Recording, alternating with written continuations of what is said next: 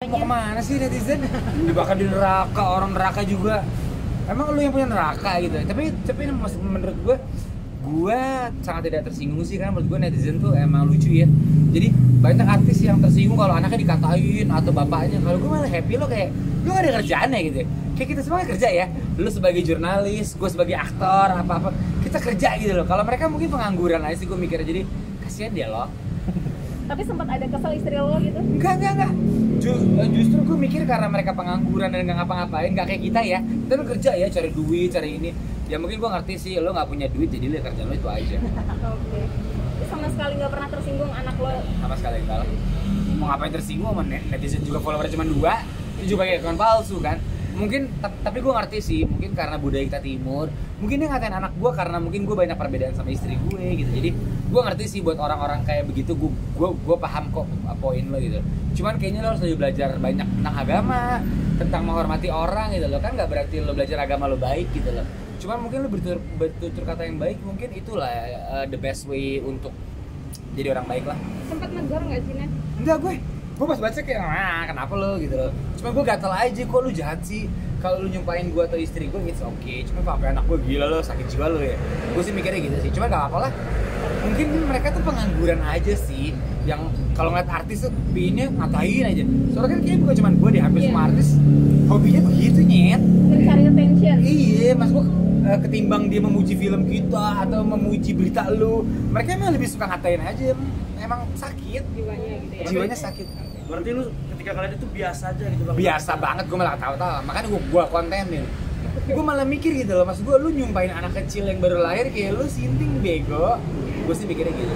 Tapi lo kan santai nih, tapi orang Ya. sekitar lo ada yang marah nggak? Maksudnya. Hmm, kakak gue sih sempet marah kayak lu ngapa sih bikin konten gitu? Kan ntar kalau anak lu gede siapa tuh pas baca berita malah nggak kuat sih sih enggak sih. Gue bakal ngasih pengarahan kalau mereka lagi aneh gitu loh. Kita bahagia bahagia aja gitu. Mereka lagi yang jahat gitu loh. Orang baik nggak akan menyupai orang masuk neraka. Lo kan banyak juga ya nih uh, artis-artis yang anaknya dibully dan Yes. mereka melaporkan gitu. Nah, Onet sendiri nggak ada biar Eh, jerak gitu. Enggak sih kalau gue capek ya. Gue malah hiburan. Lu gila ya? Kalau gue mikir gitu. Karena itu menurut gue bentuk kesimpingan sih Lu menyupai anak kecil masuk neraka Lu meng...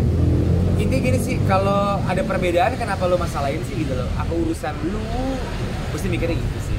Gue justru kasihan sama mereka sih.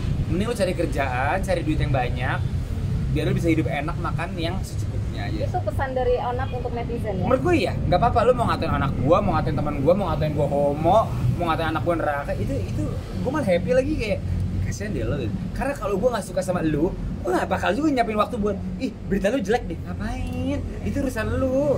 Gua juga sibuk lu ngerti gak sih? Karena lu nggak sibuk pengangguran mungkin nggak bisa makan ya kerja lu buka HP ngatain. Terus juga ujung-ujungnya kan lu tahu minta maaf sorry aku tuh orang miskin aku nggak punya duit jadi gua, gua udah paham pola jadi gua kasihan sih. Oke. justru gua kasihan sama mereka. Get a fucking job. Oke. Paling pernah paling merasakan dibully paling serem gitu menurut lo? Paling ya menurut gue itu anak gue sih mau lu sama istri lu ngasih makan orang susah anak lu tuh masuk neraka gitu kayak ah lu kenapa sih? gitu. Emang lu gak ada kerjaan ya? Kayak lu kan jurnalis ya lu pasti nyari berita gitu. Kalau mereka enggak mereka bangun tidur gue ngatain siapa ya? gitu. Ngatain kita kayak ngatain onat ngatain siapa lah gitu. Karena itulah pekerjaan itulah hobi mereka gitu. Tapi maksud gue kalau lu mau total ya kalau emang lu ntar ditangkep lu keren dong. Emang gue suka gitu. Kan kalau ditangkep kan Iya, gue orang susah nih gitu loh. Maksud gue, gue cari satu orang yang emang keren gitu loh. Emang gue gak suka. Gue emang mau masuk penjara gitu. Gue lebih suka gitu sih. Karena polanya begitulah. Abis ngapain minta maaf. Abis dicari minta maaf standar lah. Asik. Oke, siap. Terima Nah, Oke. Terima kasih. Nah, terakhir Ya. PPKM nggak ada keinginan buat nama momongan nih. Aduh. Anak